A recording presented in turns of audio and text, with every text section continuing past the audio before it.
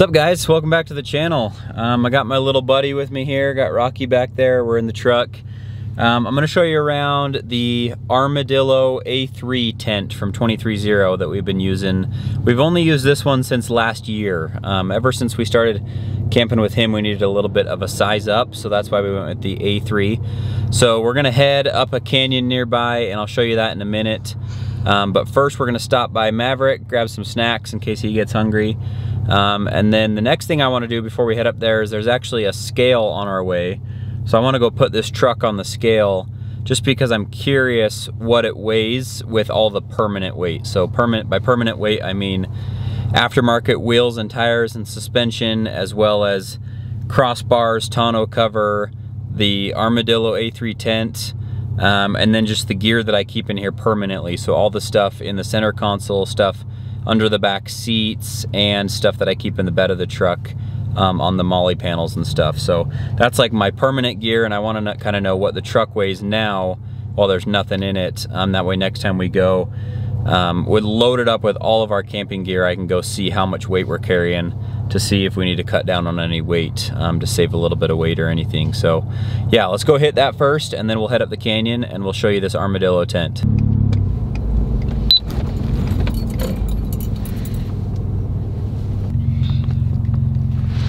All right, got the little man hooked up with some snacks. Now we'll head to the scales and uh, find out what this thing weighs. So I have no doubt that this truck is under its GVW by any means because you can put different variations of slide-in campers and some other stuff um, in these full-size trucks. And it's one of the main reasons that I drive this truck um, is because it's a full-size truck with so much capacities. Um, so, but I'm just curious. I just want to know what everything weighs, mostly because I want to know what the, the gear I carry weighs as well. So I should have spent more time researching this, but when I looked it up just barely, it says the GVW on these, when they're stock, is uh, 6,100 to 7,000 pounds. So it's kind of got a thousand pound buffer in there. Um, so I'm gonna try and figure out more exactly what this one is um, to compare it. But um, about to hop on the scale. Let's uh, see what this thing weighs as is.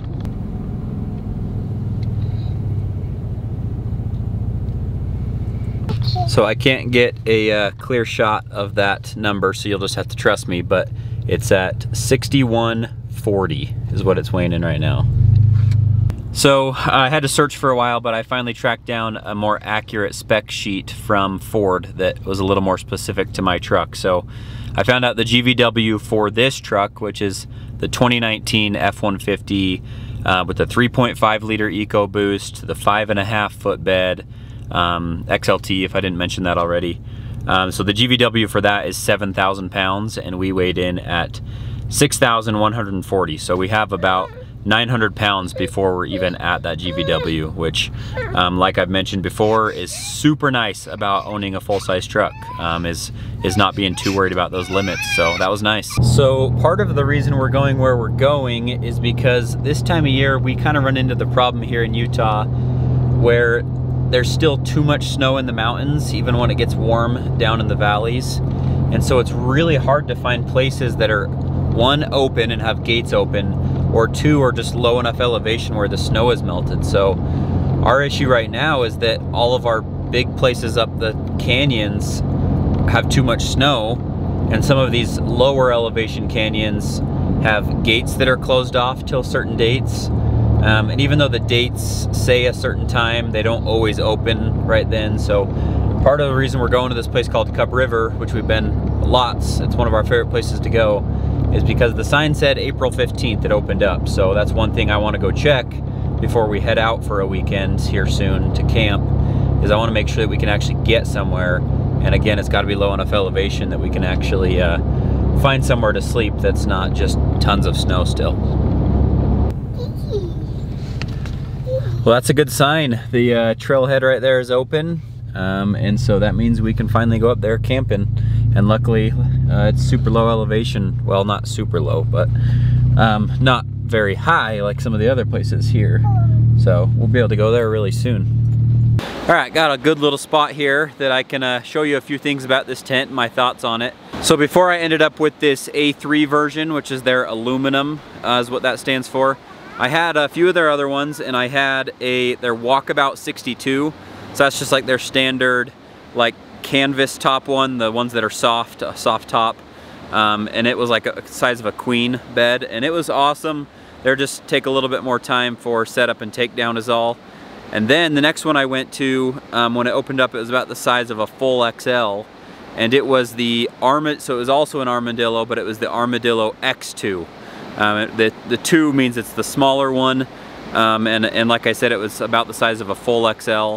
Um, and it was awesome, and it was a plastic hard top rather than this one being, this one's aluminum. Um, the plastic, ABS plastic was still really durable and strong. Um, it doesn't give you any mounting options like you have on the aluminum, um, but that was also a great tent. The, only, the main reason I switched to this one was mostly the size, so I just up to the A3 rather than an A2 so that I could have a king size bed. We just needed a little bit more room. If you have a full-size truck, um, you should be able to fit this tent.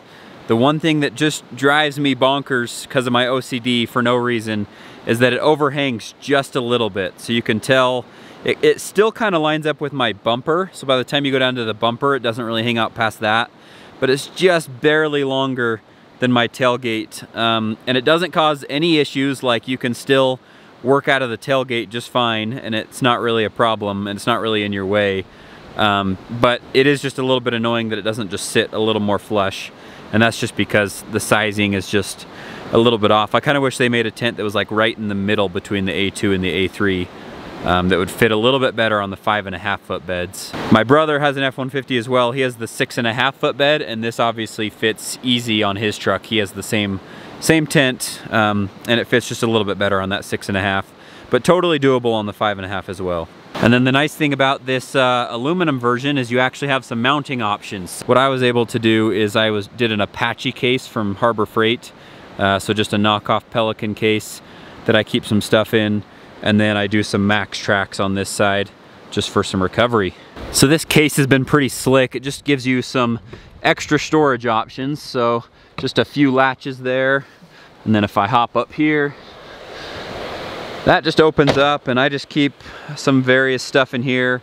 Um, some stuff for some jumper cables, some soft shackles, tow straps, a shovel. That was for the winter.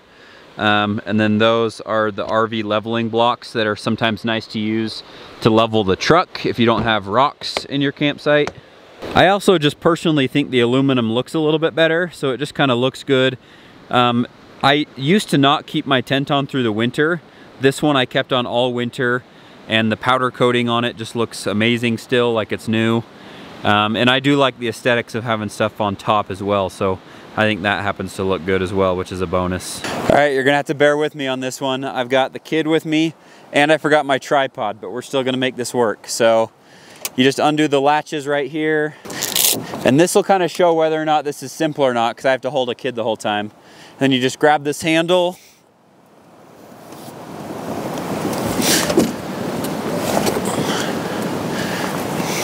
push up the top of it like that. And then there are some bungees right here.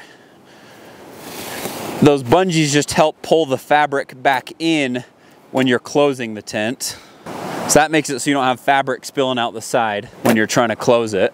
So once those bungees are out of the way, you can pull the ladder out like this, tilt it up, and then pull it out. And then these ladders, these telescoping ladders have gotten really good the last few years. And so you can just adjust them really to any height you need so that you can, uh, depending on what kind of ground you're on, you can still get into it really easy. All right, buddy, you wanna go up in there? Wanna go in the tent? So I was planning on showing you a little bit more around this tent tonight, um, but a dedicated review on that on that tent is gonna have to wait a little bit longer because this guy is just too active and I should have brought more help. Um, but I was on babysitting duty tonight and I didn't bring tripods or anything. So I'll get you a better video of that tent soon. Rocky and I are just gonna keep exploring. We're gonna go up the canyon here and uh, see if we can find some good spots to go here in the next few weeks.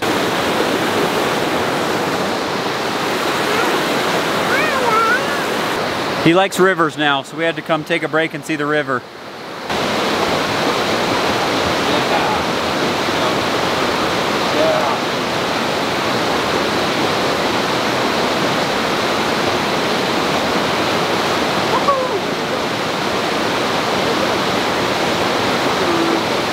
All right, let's head up this canyon and scout out a few spots for the next few weekends.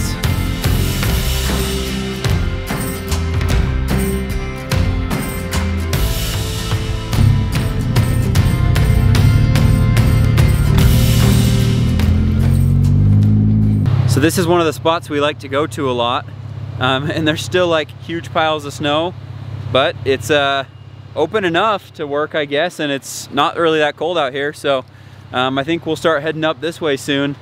Um, I'm not sure where everyone else lives, but it's a little bit tricky this time of year trying to find spots since there's just so much snow in our mountains, um, even without that crazy of a snow year. But yeah, this will be cool.